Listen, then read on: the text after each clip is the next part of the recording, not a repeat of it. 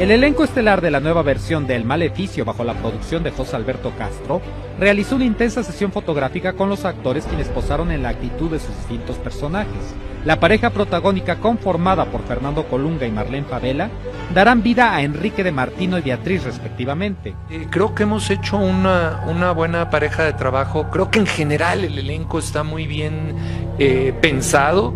José Alberto no hace las cosas por casualidad. Yo sé que él, bueno, hicimos pruebas y pruebas y pruebas y pruebas, no por una cuestión de, de, de, decir vamos a hacer tiempo, sino por buscar, creo que él buscó la gente que idealmente quería que interpretara cada personaje.